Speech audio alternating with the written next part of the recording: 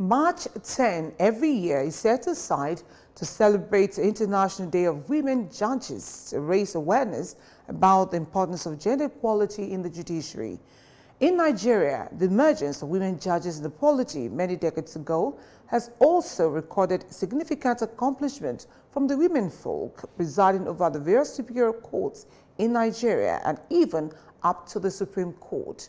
Our correspondent Babajide Lee reports. The United Nations emphasizes the significance of the International Day of Women Judges as it will help achieve the Sustainable Development Goals in terms of gender equality and empowerment. Lagos is the host of this maiden national edition organized by the Association of Women Judges in Nigeria. The program is geared at celebrating the excellence of members of a body in a profession once considered the exclusive preserve of men. There are judges who have proven their mettle there are judges who are working assiduously well and contributing immensely to the reputation which Lagos State is earning and will continue to earn in the fight or the struggle against the vices. There are three arms of government. It is only in the judiciary, uh, through when Honorable Justice uh, Mariam Mukhtar Loma was the Chief Justice of Nigeria, that a woman occupied the top position in one of the three arms of government. The other arms of, gov of government are, are, well advised to also toe this path so that uh, merit can come to the fore.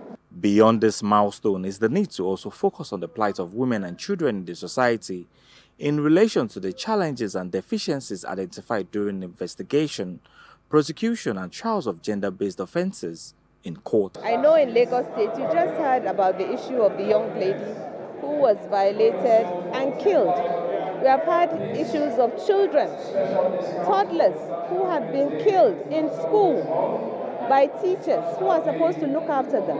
Is there a failure on the part of parents, guardians, teachers, and the uh, system in general to protect our vulnerable in society? This is what we are going to be looking at. We are in the field. We are in the end result.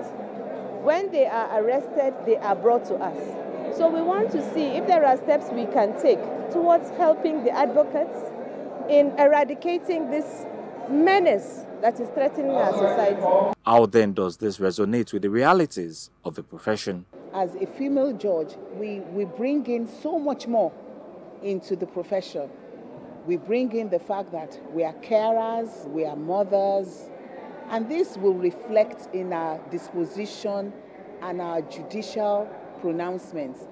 Now, it will reflect in our judicial pronouncements, not based on emotions or sentiments, but well grounded in law.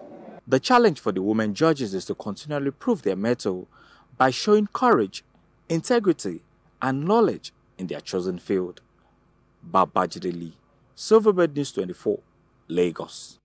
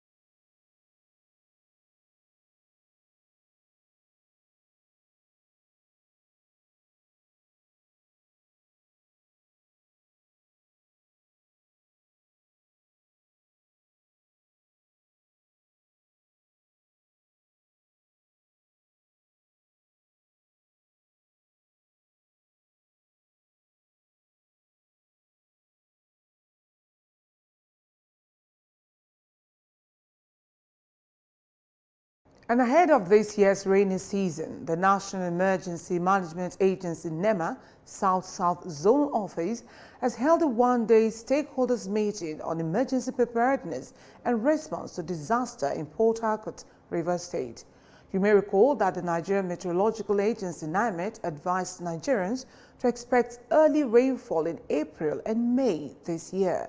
Our correspondent Monica Ogwa has the report. It was a gathering that brought together stakeholders drawn from the Federal Road Safety Corps, Nigerian Security and Civil Defense Corps, Red Cross, Nigerian Meteorological Agency, and the Federal Fire Service, amongst many others.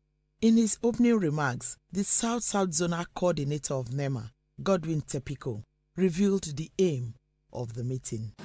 The idea is uh, to continue to build on the collaboration and partnership we have with our stakeholders.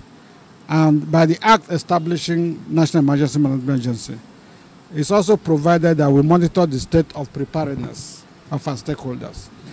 Keep reminding them that they have a duty to perform when disaster happens. Godwin Tepiko, however, expressed concerns that River State is among the few states in the country that are yet to create functional state emergency management agencies. The lack of functional state emergency management agencies and local emergency management authorities in the South South Zone. Yeah, because the structures has to be in place so that NEMA at the federal level can coordinate, you know, the activities of other stakeholders at the state and the local government level representatives of safety agencies who spoke at the one day stakeholders forum restated their commitment to emergency response. As much as we are talking about safety, and as we recognize and know that the Federal Road Safety Corps is a lead agency in road traffic management and safety administration in Nigeria, we have a key role to play when we talk about disaster management. With the recent uh, weather uh, predictions by Nigerian Meteorological Agency, I believe uh, the stakeholders meeting is very important because without disaster there will be no mitigation measures. And as early as this, the rains are about to set in, the stakeholder meeting has come rightly on time. It will really afford uh, all the necessary stakeholders the emergency response to uh, to get new ideas, share different plans on how to go about uh, the different ways to mitigate. We are part of the emergency units and anytime there is fire outbreak in the states, we will always respond to those emergency. The lead facilitator and NEMA search and rescue officer, Damian Agion, trained participants on their roles and responsibilities in the case of any emergency. From Port Harcourt, Monica Ogwa, Silverbird, News 24.